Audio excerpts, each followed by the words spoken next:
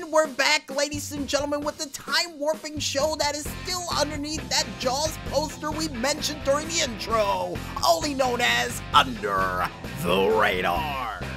And while we stand under this makeshift poster that the maestro was able to make prior to the commercial break, we also are wearing those cool sunglasses that Doc Brown wore during Back to the Future 2. Just for the nostalgia of it all. But to keep up with this nostalgia and madness that we're here to deliver, folks, I think it's time for us to check out some screenshots and whatnots from the Twitterverse from this past weekend for another edition of the Four Squared Delight. And the first screenshot that we have up comes from the Twitter page of Dead Winter Comic with their game, Dead Winter.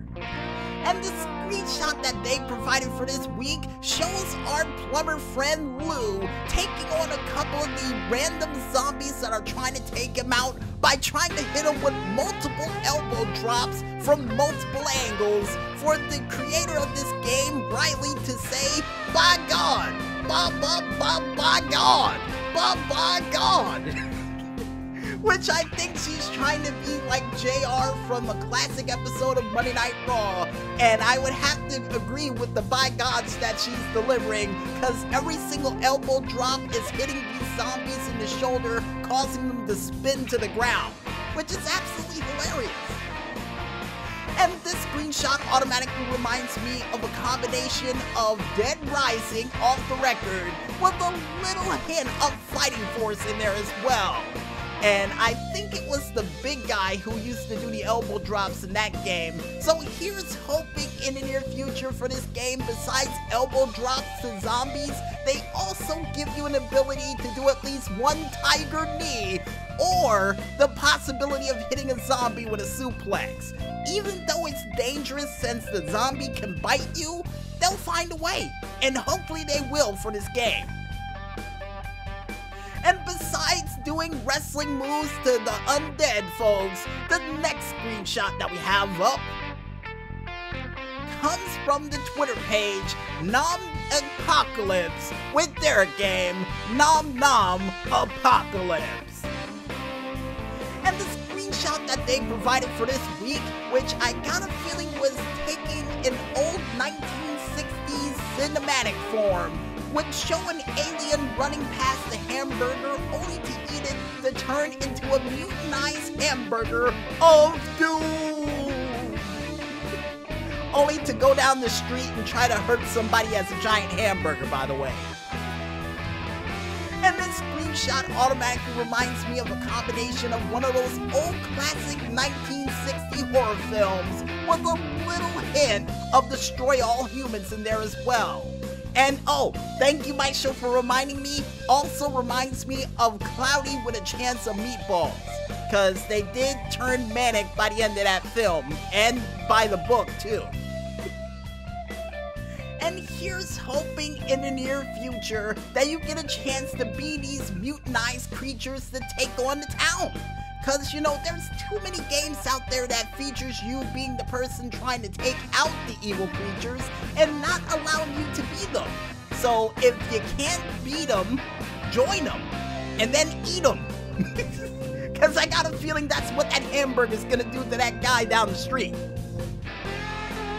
And besides horrifying ways to die from fast food that's gonna try to take you out, folks, the next screenshot that we have up comes from the screenshot page or Twitter page of EV Evo X Games with their game Jet Drift Dungeon.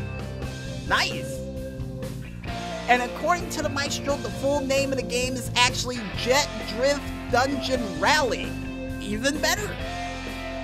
And the reason why it's called that, folks, is because one guy who is in what appears to be a jet drifting vehicle with tank tread wheels, which is awesome, is trying to take out a whole bunch of random killer tomatoes that are attacking him. No way! So you're telling me this is an attack from killer tomatoes?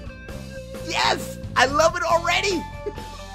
And this screenshot, because we just said it, folks, automatically reminds us of a combination of Mario Kart with a little hint of Attack of the Killer Tomatoes. And I think the animated version of Attack of the Killer Tomatoes too, because they were more animated in their actions than the actual movie version of it, which is still cool. And here's hoping in the near future for this game that they give you a better weapon to take out those litany lists of different form of tomatoes that are trying to take you out. Because that beam cannon is not working. You're gonna need a rail gun to take out all those tomatoes. So here's hoping they add one. And the next game that we have up comes from the Twitter page of Nick Muse with his said game, Untitled Solo Project that we might as well call Wrath of the Viking Ninjas.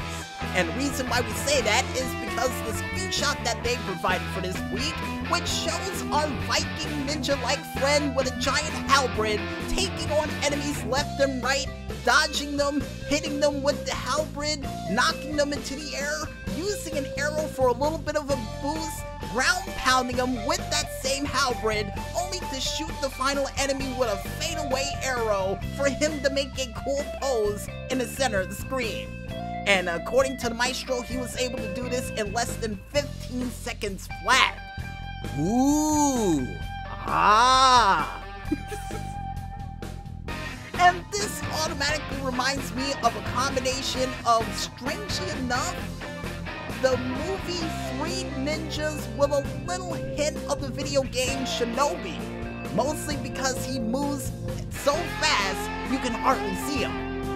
Well, then again, that would make him a ninja, and that's the point here. And here's hoping in the near future, besides this halberd and arrow combination that he has, here's hoping that they add a shuriken that you can use to throw at enemies for a special attack to take out a multitude of different enemies all on the screen while he makes a cool pose. Now, I'm not sure which old game I had that used to do that. I think it was a Tyco handheld game I had that had a chandelier for a final boss, but here's hoping they add that in.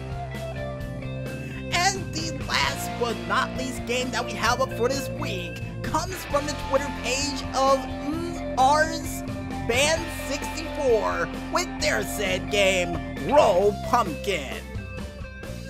And the screenshot that they provided for this week lives up to the name of Roll Pumpkin, folks, because it features an old woman collecting a whole bunch of different coins only to turn into a makeshift pumpkin to make her way to the next obstacle course to collect more coins and to just roll off screen to end it all.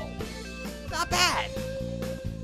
And this game automatically reminds me, strangely enough, of the Sylvester and Tweety Mysteries if they had a side-scrolling game with a little hint of Halloween Town in there as well. Or at least the spooky, spooktacular show that they show every year on Cartoon Network. And here's hoping in the near future for this game is that they have a time attack mode that you get a chance to use to actually truly the rolling abilities of this pumpkin granny. And the fact that she's able to roll this good at her age, pretty impressive. Pretty impressive. You know, side note I wanted to add in. And if you guys want to check out any other screenshots and whatnots from the Twitterverse from this past weekend and beyond, you can head on over to the Twitter pages of not only Oliver Snyder's, Octo Curio, Shot underscore Games, Indie Rhymes, Playing Indies, or even under the screenshot hashtag on Screenshot Saturday. And if you guys want to get a good look of the screenshots that we liked for this week and get an interpretation of it for yourselves, you can head on over to our Twitter page, only known as the 00 Agent 0012, where Maestro made a screenshot folder called Screenshot Back to the Future. Now, I'm really surprised you didn't add a 2 for that, but, eh, you know, you did it under short notice, and I appreciate it. And with that said, folks, we might as well head back to this music once again. And when we return, we'll be back with another edition of yesterday's news right after this. So don't go watching those infomercials just yet, folks, and stay tuned.